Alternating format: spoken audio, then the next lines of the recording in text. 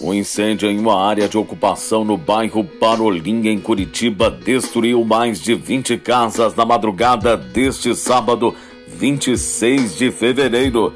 De acordo com informações do Corpo de Bombeiros, como no local a maioria das casas é de madeira e uma muito próxima da outra, o fogo se espalhou rapidamente.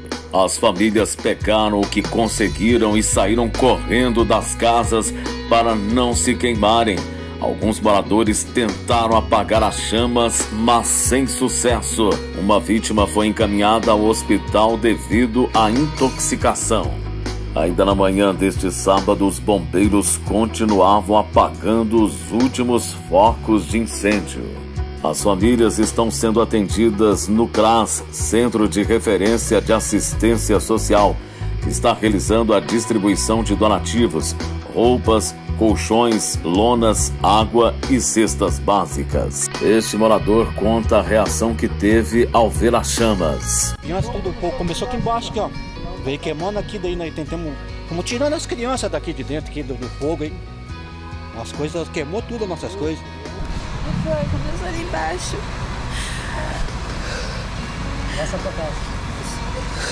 Não é nada. Tá tudo madeira, cara. Começou uma casa aqui. Geralmente é difícil ser. É, é difícil.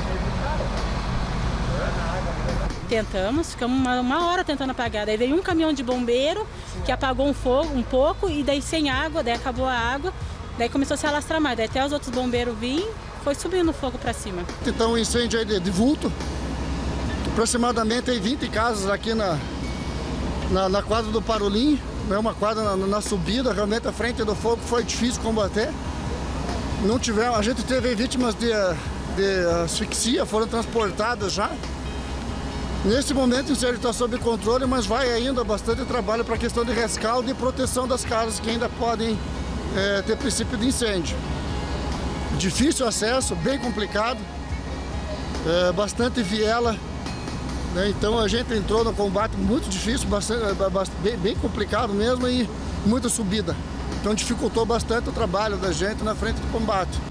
Nós trabalhamos aqui com sete caminhões, o maior aporte de água que a gente pôde usar da cidade. E agora aproximadamente com 20 homens aí. Esta criança teve que usar chinelo de adulto porque foi o único que a família conseguiu pegar antes de um incêndio destruir a casa em que moravam. Os moradores que precisarem de atendimento podem entrar em contato pelos telefones 199 da Defesa Civil, 153 da Guarda Municipal, 156 da Prefeitura de Curitiba e 193 do Corpo de Bombeiros.